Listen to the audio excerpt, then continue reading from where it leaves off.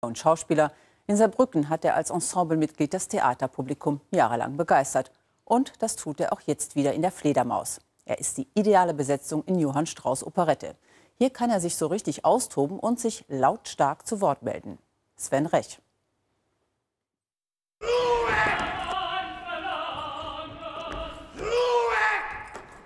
Er ist wieder da.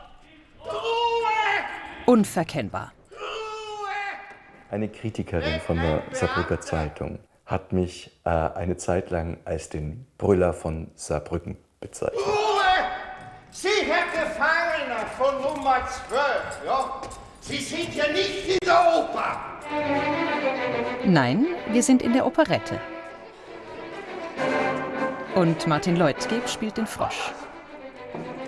Der besoffene Gefängniswärter Frosch ist eine der berühmtesten Nebenrollen der Theatergeschichte.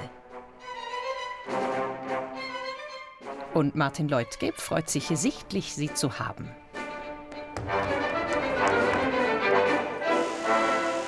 Das ist ein fidelles Gefängnis, was ungeheuer. Der Frosch, also an den Theatern, wo ich dann immer war, äh, habe ich schon immer geguckt, wer spielt den Frosch. Nicht, dass ich das spielen hätte wollen. Damals war ich auch noch zu jung und ich glaube, ich könnte den Frosch auch noch in 20 Jahren gut spielen.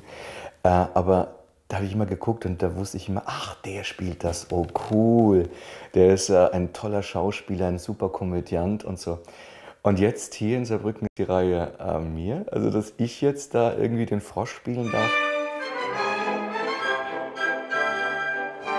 Aber mitspielen darf der Frosch erst im dritten Akt. Die ganzen Walzer finden ohne ihn statt. Zeit genug für den Gastschauspieler, seine Wäsche zu waschen und über die vergangenen Jahre nachzudenken. Von 1999 bis 2005 war Martin Leutgeb in Saarbrücken engagiert. Unter anderem spielten Waschmaschinen dabei eine Rolle. In Zettels Sommernachtstraum war Leutgeb sogar kurzzeitig Ballettmitglied. Viele Erinnerungen sind damit verbunden, nicht nur an den Muskelkater. Derzeit ist mein Vater gestorben. Und wenn ich hier, wenn ich hier bin, am Theater oder Leute sehe, ist mir das auch ähm, sehr präsent. Diese Zeit der Trauer äh, und des Aufarbeitens. Und äh, ja, das würde ich ja sonst zu Hause machen, aber dadurch wurde einfach Saarbrücken auch mein Zuhause. In unzähligen Rollen stand Martin Leutgeb in Saarbrücken auf der Bühne. Er schrieb ein Stück für Kinder und gründete das Musicalprojekt in Neunkirchen, zog weiter nach Stuttgart und macht jetzt Film und Fernsehen in Österreich. Es war mir zuletzt langweilig.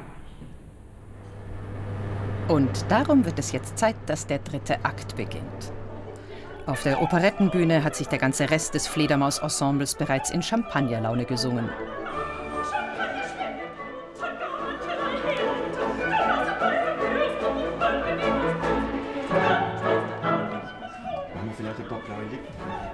Die Schnapsnase von Frosch dagegen wird in der Maske aufgemalt. Martin Leutgeb muss sich anders auf Touren bringen.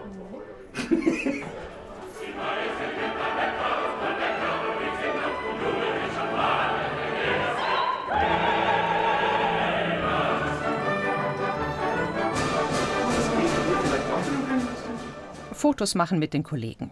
Wer so viel unterwegs ist wie Martin Leutgeb, muss solche Momente festhalten. Für später, für die eigene Homepage. Dort steht auch ein Satz vom berühmten Harald Schmidt.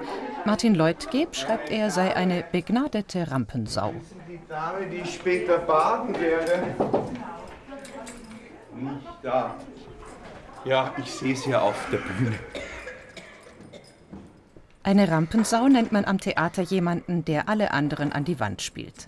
Martin Leutgeb spielt noch an der Wand, alle anderen an die Wand. Herr Direktor!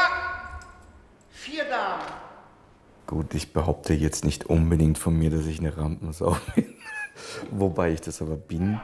Ein mozärtlicher Elefant, so hat mal jemand den Großschauspieler Heinrich George genannt. Martin Leutgeb ist sicher auch so ein Theaterurviech. Ich habe auch vorher sehr viel Straßentheater gespielt und da musste man die Plätze füllen. Äh, was aber auch im Theater ganz gut kommt, wenn man dann verstanden wird, auch in der letzten Reihe. also der Brüller von Saarbrücken. Er ist wieder da, Martin Leutgeb, bis Mitte April als Frosch in der Fledermaus.